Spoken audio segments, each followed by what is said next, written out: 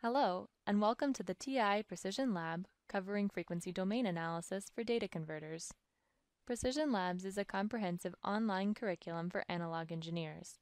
More videos can be found by going to ti.com slash precisionlabs. This video introduces the concept of frequency domain aliasing. The alias is an error source that we want to avoid or minimize. This video also covers how an anti-aliasing filter can be used to minimize aliasing errors. In a very general sense, aliasing is an error signal that is detected when the sampling system cannot sample fast enough to properly monitor the system.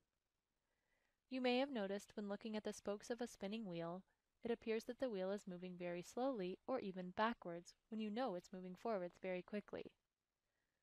This optical illusion happens because your eye is a sampling system that cannot perceive the rapid forward spinning motion. Your eye is seeing an alias signal. Here, we introduce the concept of aliasing for data converters in both the time domain and frequency domain. On the left-hand side, you see time domain aliasing. The input signal is a 900 kHz sine wave shown in red. The data converter is sampling at 1 megasample per second, so each dot on the red curve represents a sample of the input signal. Connecting the dots for each input sample shows the blue alias signal.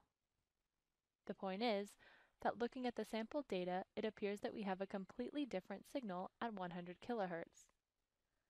This erroneous signal is called an alias. For data converters, you will get an alias signal whenever the input signal exceeds one half the sampling rate.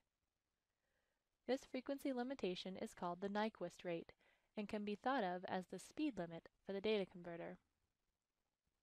Exceeding the, The Nyquist right-hand rate side of the will always result in an aliasing aliasing in the frequency domain. So care must This be taken to example that the input signal is band limited The sampling rate to is 1 than the Nyquist and the input is 900 kilohertz.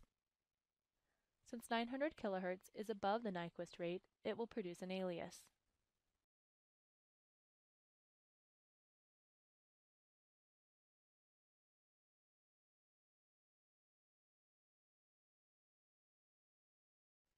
The alias signal will appear in the signal band at the sampling frequency minus the input signal. That is, f alias equals fs minus fin, or 1 megahertz minus 900 kilohertz, which is equal to 100 kilohertz. Remember the 100 kilohertz alias is an error as the actual input signal is at 900 kilohertz. The process of aliasing is sometimes called folding back, or mirroring of the input signal. Here is an example of a data converter with a sampling frequency of 1 megasample per second, so the Nyquist frequency is 0.5 megahertz. For this example, a 3 volt signal is applied at 0.25 MHz, and a 1 volt noise signal is applied at 2.6 MHz. The signal at 0.25 MHz is within the Nyquist band, and the signal at 2.6 MHz is far beyond the Nyquist frequency and will generate aliases. Remember, FFT results repeat each other in increments equal to the sampling rate. So for this example, the frequency domain pattern will repeat itself every 1 megahertz. Also remember that the frequency domain is symmetrical around the Nyquist frequency. So the desired signal appears at 0.75 megahertz, which is calculated as 0.25 megahertz plus the sampling rate. This repeats itself every 1 megahertz increment. The noise signal will be symmetrical about 2.5 megahertz and repeat itself every 1 megahertz increment. Here we show the same example from the previous slide. The point is that in most cases, everything above the Nyquist frequency is hidden as it is redundant information. So in this example, we show everything from 0 Hz to 0.5 MHz because the Nyquist frequency is 0.5 MHz. The frequency at 0.25 MHz is the desired signal, and the frequency at 0.4 MHz is an alias. Ideally, we want to avoid any aliasing into the Nyquist band. The main way to do this is to use an anti-aliasing filter. The best way to avoid aliases is to use an anti-aliasing filter. The objective of this filter is to assure that any input signal above the Nyquist rate is significantly attenuated so that it does not show up as an alias signal. In this example, the desired input signal is at 2 kHz, and a noise signal is at 700 kHz. The sampling rate is 1 megasample per second for this example, so the 700 kHz noise signal will create an alias signal.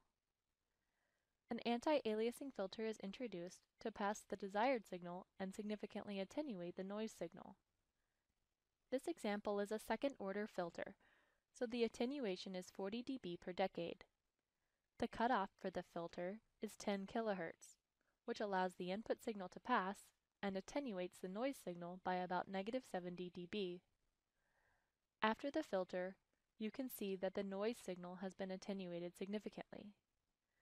The attenuated noise signal will still alias into the signal band for the converter, but it will ideally be below the noise floor so it will not be visible. This slide shows a typical SAR input design with an anti-aliasing filter. In this case, a second-order active filter is used. The cutoff for this filter is set to 8.6 kHz, so signals above the Nyquist frequency will be attenuated by at least 60 dB. The active filter is followed by an RC filter called a charge bucket filter. The RC filter is often mistaken for an anti-aliasing filter, but it is not designed for this purpose. Looking at the cutoff frequency for a typical RC charge bucket filter, you see that the cutoff is set to 15.8 MHz. Since the Nyquist frequency is set to 500 kHz, the charge bucket filter clearly doesn't work for anti-aliasing. In the next slide, we will briefly introduce the purpose of this filter and later we will cover it in depth. This slide shows a signal source directly connected to a SAR data converter switched capacitor input. Notice that the signal source has a source impedance and that the internal switch has an associated impedance. When the sampling switch S1 closes, the internal sample and hold capacitor needs to charge to the level of the signal source. However, the signal source is not capable of quickly charging the internal capacitance because of the source resistance. Inspecting the signal, you can see that the voltage on CSH droops from the original signal level and is not accurate at the end of the sample time T sample. The charge bucket circuit is designed to provide a quick boost to help the internal sample and hold capacitor quickly settle to its final value. We will cover the operation and selection of this filter later. That concludes this video. Thank you for watching. Please try the quiz to check your understanding of this video's content.